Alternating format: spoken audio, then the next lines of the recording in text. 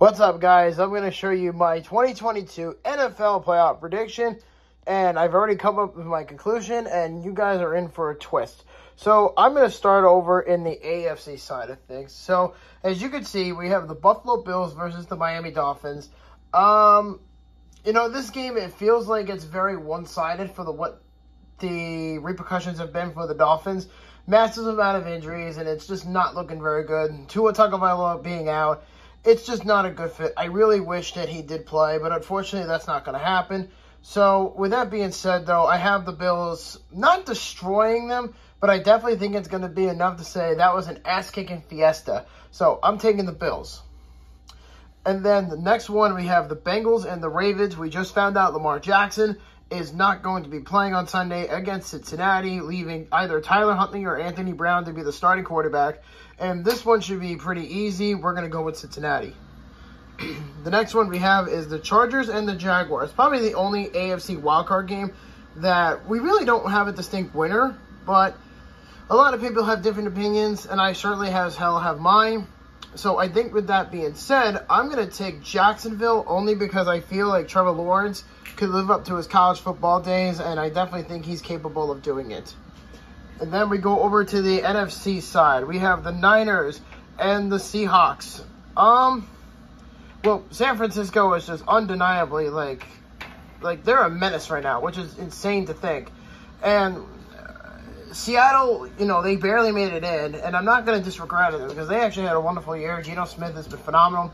Um, I don't, I don't see the Seahawks getting any sort of chance against San Francisco. Christian McCaffrey's been on fire. Brock Purdy's been great. Um, I, am sorry, Seattle. I, I have no choice, but I got to give it to San Francisco.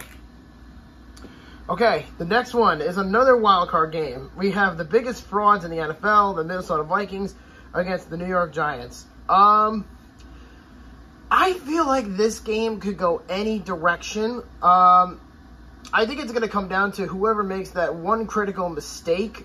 Um, I also think it could be a defensive game. It could go any direction, like I said. Um, Wink Martindale is a phenomenal defensive coordinator for the Giants. Minnesota, obviously with Justin Jefferson, Dalvin Cook, Kirk Cousins, etc. Um, the game is in Minnesota, but there's no guarantee the Vikings uh, are going to win this game. There, There's no guarantee at that. It's not like a slam dunk like San Francisco. But I think that with being said, I'm going to take the Giants in this situation. I, I don't know why. I just, I have that feeling with them that they're going to pull it off.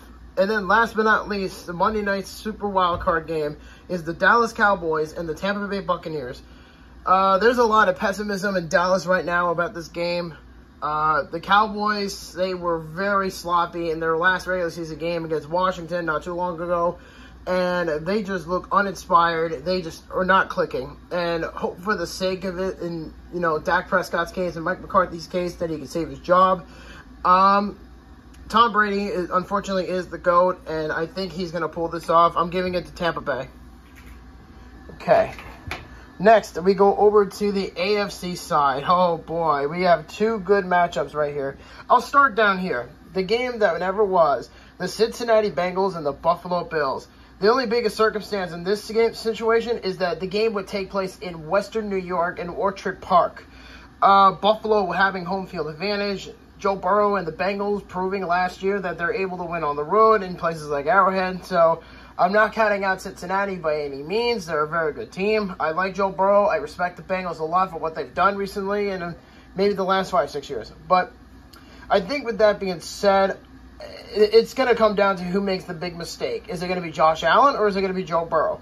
But I got to say, though, in this case, I'm giving it to Buffalo because Cincinnati, as good as they are, they're kind of banged up on the offensive line. Okay, then the next one is Jacksonville versus Kansas City. Trevor Lawrence versus Patrick Mahomes. Now, I know they met in the regular season, but that doesn't mean anything to me. Because when it comes to the playoffs, you want to show your best effort, right? And there have been upsets in the past from the Chiefs' perspective, you know, 2018, losing to New England, and then Jacksonville going to the conference championship, losing to New England. So I think each one of them has a brief history, but never, I think, have they never met in the playoffs. So I think it would be a very interesting game between Patty Mahomes and Trevor Lawrence. But here's my take on this. I'm going to take Jacksonville, and I'll tell you why. because when you look at it from the perspective of the Jaguars, they have a very good defense. I mean, they have Travon Walker. They have uh, they have a stellar defensive core, honestly. They got Travon Walker. They got a bunch of young guys. I mean, it's not Sacksonville, but I think they can definitely do enough to get to Patrick Mahomes. The Chiefs are all about offense. I mean, their defense is okay, too, but I just think that Jacksonville has a pretty big uphill climb on that. Okay, the next one is the Giants and the 49ers. Now, a lot of you are probably saying at this point, well, the Vikings are already out. You must think that the Giants are going to lose to San Francisco, right?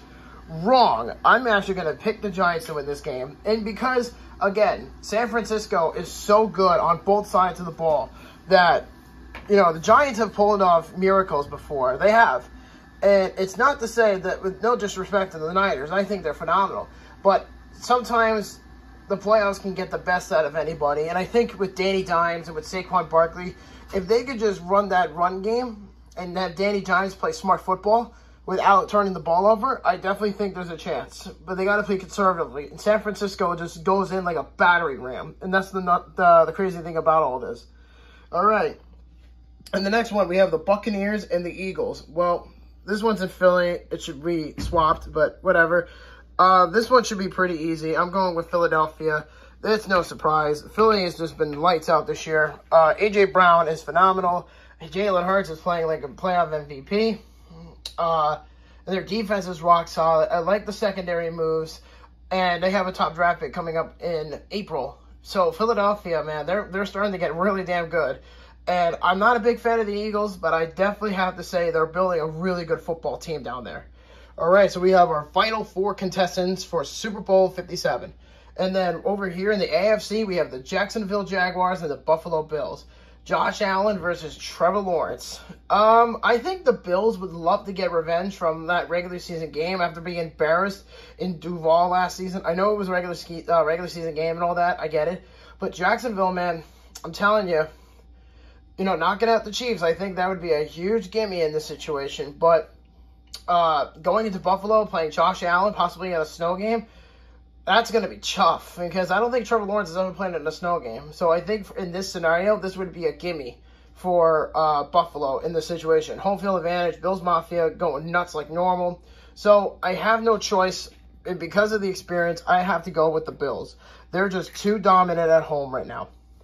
And then for the NFC side, we have the NFC East rivals, the New York Giants and the Philadelphia Eagles.